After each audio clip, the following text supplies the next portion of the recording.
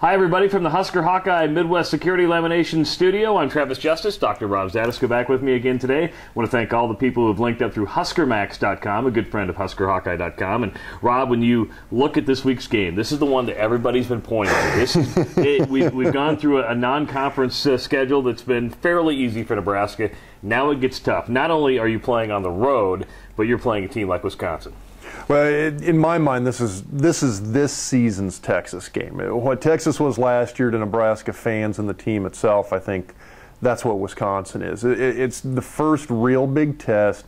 It's the introduction of the Big Ten it's they're a very very good team, and I think they've really got a lot of people worried. Well, you know, there's going to be a lot of Husker fans that make the uh, the, the trip to Madtown just to be part of the Madison experience. Oh, there are a lot of them going to be sitting outside outside the stadium, going to be sitting over in the arena watching it on closed circuit TV. Going to have a great great showing of Husker fans. Not sure how big a difference that's going to make in the end, though. Well, you know, I, we can say that, in, in, in Wisconsin's a very good team, uh, ranked seventh in the country, but has the Wisconsin Badgers have they been tested seriously this year? They they really haven't been. Now I, there, there's little bits and parts of me that look at them and I think you know what, they've got a solid defense but maybe not a great defense. Uh, you could make the argument they've been a little bit weak against the run even with the opponents that they've been playing. UNLV actually moved the ball on the ground reasonably well against them. At the same time though, Wisconsin has done to, to, to, less than stellar teams what a great team should do to less than stellar teams. They have been absolutely dominating, and that's what worries me. Now, you can make the argument you look at Wisconsin, you look at Nebraska. Nebraska maybe has a little bit of a stronger overall defense, even with some of the weaknesses we've mm-hmm. seen on Nebraska's defense thus far. The thing that still gets me is when you look at how efficient, how error free, how turnover free Wisconsin's dominating offense has been, that's what worries me. They, they have just absolutely dominated the teams that they've played. Yeah, let's talk about that Wisconsin offense first. And that it, Bret Bielema got a gift when Russell Wilson decided to transfer from North Carolina State well, and become a, a bad and, and I and I've made the I've made the argument in in the online blog on HuskersHawkeyes.com that this, in my mind, this literally could be a fireable offense for Tom O'Brien at North Carolina State to let this kid go. I mean, he, he has played very, very well. He has been very error free. You take a guy who, you know, you can always make the argument that he's only been at Wisconsin for a month, well, playing games for a month. He's been there since this, since this early, early summer, summer, late spring, early summer. I know he was playing baseball before then, but you got a guy that, on the whole, within the realm of his overall college football career, the guy's been a four year starter. And he's been, quite frankly, a pretty solid one at that. And you could say he's right now in a lot of people's Heisman Trophy list. So you combine Russell Wilson with two quality running backs. Very good running backs. And ball, ball is yeah, ball is make you jealous. It, it is. Ball's a man and a half running the ball back there. Uh, you look at the offensive line, and the thing that really gets me about that offensive line, they they play very well together. You, you don't look at them and pick out individuals. When you watch them play all you see is a unit working in unison, and that tends to spell trouble for opponents. At the same time, you, you, even look at their backups. I watched the end of a couple of some of those earlier games this year. Uh, the Oregon State game, the UNLV game. I paid attention well into the late portions of that game, late fourth quarter, when you saw the second string offensive line in there. The second string offensive line looks good. They've got a couple of guys dinged up, a couple of injuries. They're going to be potentially starting a redshirt freshman on that offensive line. I don't think they're going to miss a beat doing that. It's going to be interesting. Let's let's talk about the Wisconsin defense now because you mentioned they've given up some yards, especially to UNLV. That's the one a lot of us got to watch, um, and that happened when UNLV got to the outside. It and, did, and, and, that would hurt. That's exactly what hurt Wisconsin in the bowl game last year. Uh, teams were able to get to the outside, and they didn't have the speed to catch them, and then that opened it up in the middle. Nebraska's offense has been very opportunistic this year. They have been. This this is another opportunity for Taylor Martinez. It, it is, and you know there were some games last year that, in my mind, were very surprising in terms of what Nebraska's offense was able to do.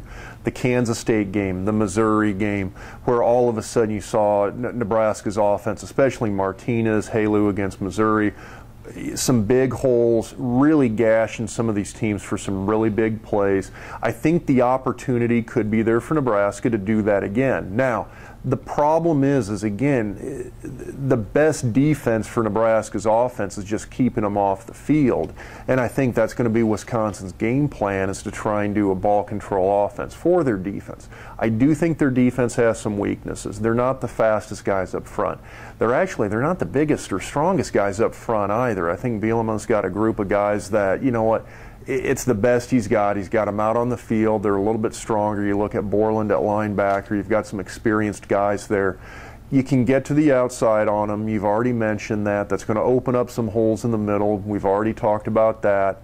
The fact remains that if this game turns into a shootout, though, I don't think Nebraska's offense is going to be able to keep up with Wisconsin's. Well, let's look at it this way. It's going to be a, a crazy atmosphere, that, that's for sure.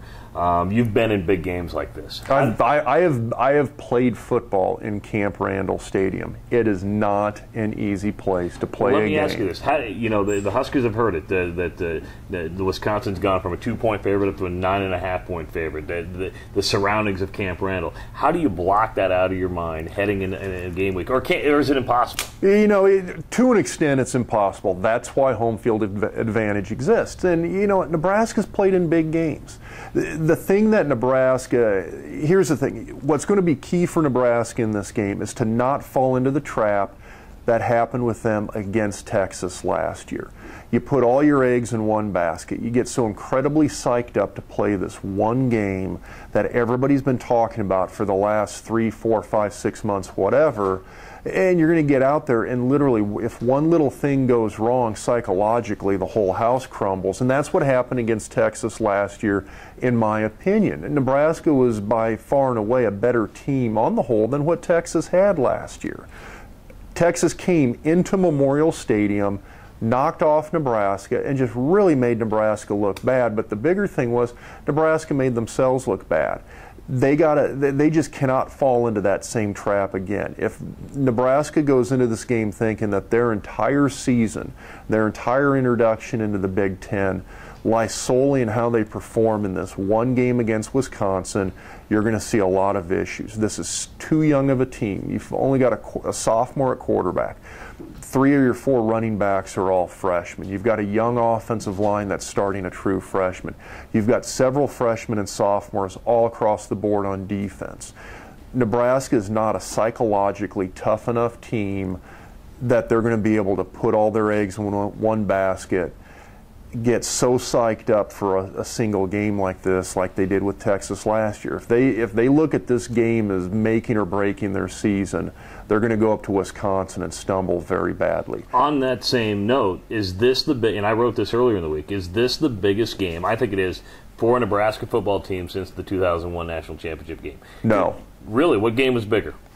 Well, you mean well because I look at you know I look at the, the USC games uh, the, out there and back in Lincoln. But Nebraska still hadn't arrived yet. You look at the Texas yeah. game last year. Nebraska won the North, but clearly wasn't the best team two years ago in the Big 12, even though they played them close, Texas and Oklahoma.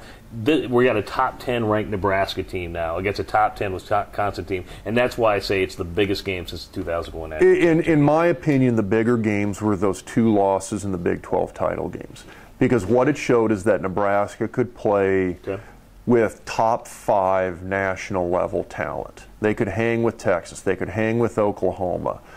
Those were turning point games. This is a game as big as it is, Nebraska could still win their division. They could still go to the Big Ten title game. They could end up facing Wisconsin again. And I think the advantage always goes to the team. You know what? Wisconsin beats Nebraska. I think Nebraska has a little bit of an edge going into the going into the Big Ten title game, assuming they win the division. You look at Washington last year, blown out in the season, came back, beat Nebraska handily in the bowl game. And you look at the Washington Nebraska game this year. I think Nebraska was a better team than than Washington in all three of those games. Didn't mean Washington wasn't able to sneak one in on them. I think as big a game as this is, I don't think it's the biggest game. I think you look at an Ohio State, I think you look at a Michigan State. I want to see Nebraska play a game like this, and then I want to see them turn around and have, win or lose, I want to see them rebound and continue to play well for the rest of the season. I'm, I'm not an A, all your eggs in one basket kind of guy unless it is a championship game, a conference title game, a national title game. It's early in the season. I don't think this is a make or break game. It's huge if Nebraska wins, but it's not that big a deal if they lose because you've still got the whole season in front of you. I don't think anybody expected Nebraska to, to go undefeated this year. If you're going to lose a game, lose on the road to a very good Wisconsin team. Of course, uh, Saturday is the start of a very brutal Big Ten schedule for Nebraska. He's Dr. Rob Zatechka. I'm Travis Justice from the Midwest Security Laminations Husker Hawkeye Studio. Enjoy the game.